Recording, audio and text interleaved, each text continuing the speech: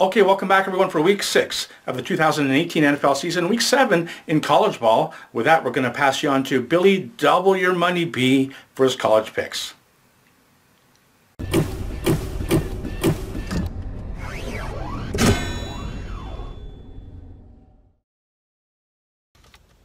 All right, what's up, everybody? You know the drill by now. Three and one again on the college picks, 18 and six overall. Still looking for that 4 0 week, so let's see what happens here. All right, my first pick, I got Notre Dame minus 21, UAB minus 16 and a half, Texas A&M minus 2, and Virginia Tech minus 6. So there's my college week 7 picks. Going to send it to Gio right now for the NFL picks.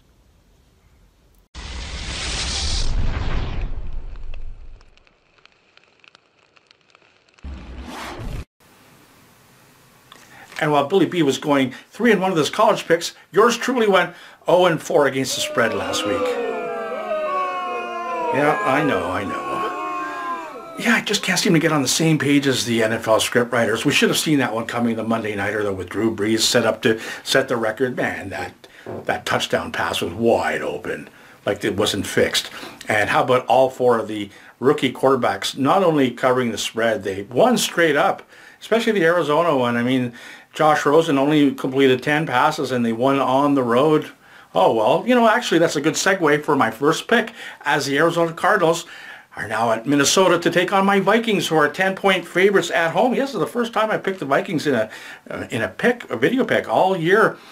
Obviously, the Vikings, uh, it's a large spread. It kind of reminds us of that Week Three spread against Buffalo, it was 17. But you know, in that game, Minnesota was just coming off of the that tie in Green Bay, that overtime tie where they should have won the game, and then they had the LA Rams going into LA on the Thursday game. It was kind of a tough spot for Minnesota. They played terribly, and you know what? I think Zimmer's fixed the problem uh, with the defense, and Minnesota owes their fans big time. So I think it's going to be a rout. So let's lay the points, and let's take my Minnesota Vikings minus 10.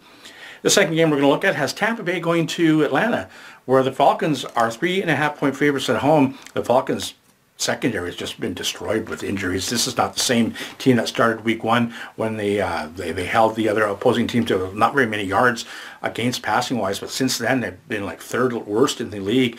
Um, Tampa Bay comes in, whether I guess it's going to be Jameis Winston as quarterback, which it should be, but they come in with a the number one passing attack, and that's going to play very poorly into what Atlanta is doing right now against the pass. Uh, Bucks might actually win this game. It's a divisional rivalry. Uh, is coming off the bye as well. Maybe they won't win, but that's a lot of points.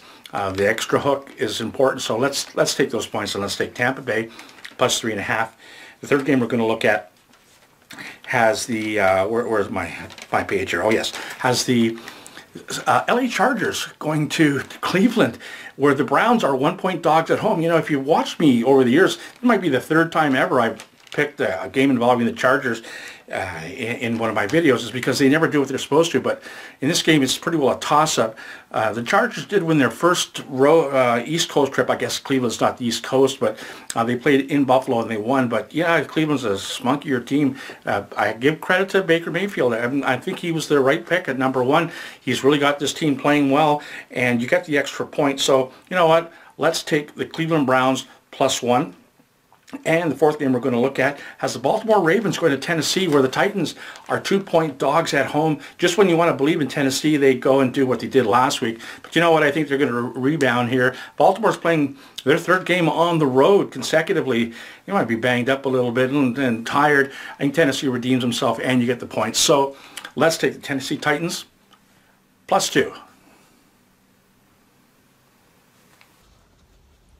All right, my NFL picks last week went 2 1 and 1. That brings me to 10 7 and 3 overall. Uh, I want to get better there, so let's see if we can start right now. First pick is the Giants plus 3 against the Philadelphia Eagles. The Giants are the home team on a Thursday night game. Uh, the home teams always have fared well on Thursday nights, and they are a home division uh, underdogs, and that's always fared well again for the home underdog, the Giants here. Uh, Giants have talent. Barkley's playing well. Odell and Eli are starting to get their connection back. Eagles have not played uh, like the team they did last year. There's something going on with them. Their offensive line is um, not playing great. So I like the New York Giants to actually win this game outright, but take the Giants plus three.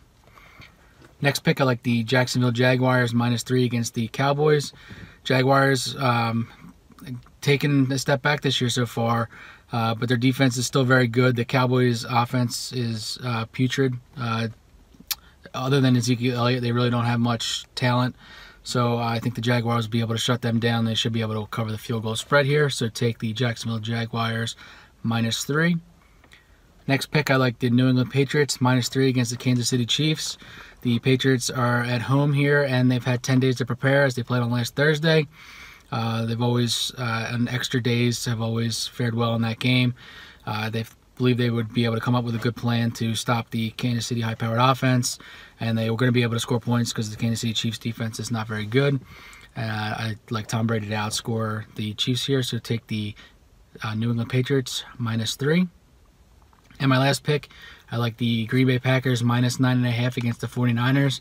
This is the uh, Monday night game. I think the Packers are going to come out just steamroll the 49ers here. I don't see how they have much of a chance with uh, C.J. Beathard at the quarterback to keep up with Aaron Rodgers. Um, Aaron Rodgers is going to just, I think he's going to throw for three touchdowns in this game, and uh, they're just going to win this game by, I think, uh, 17 or more points. So take the Green Bay Packers minus nine and a half, and there you have it for my picks. I'm going to send it to Gio now for the teasers.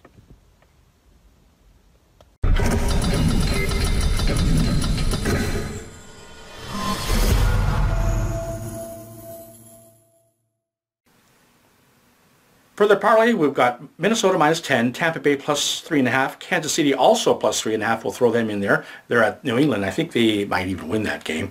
We'll take Cleveland, Carolina, and Tennessee each on the money line. A $25 bet will get us a whopping $1,437.23.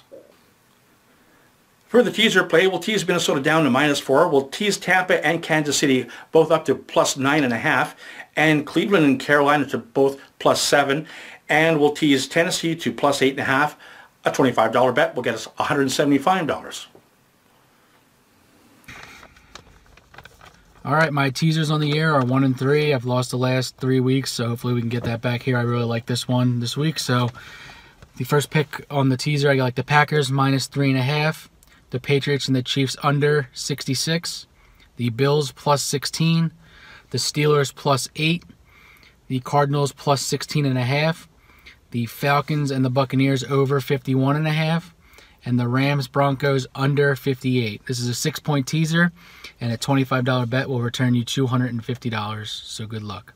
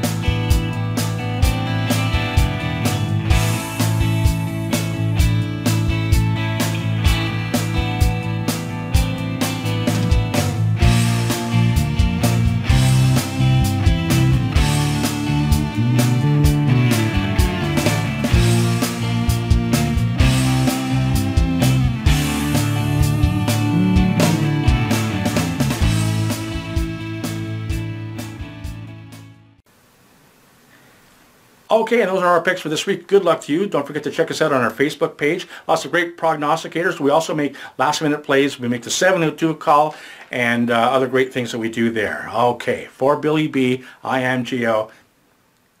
Let's take the man's money.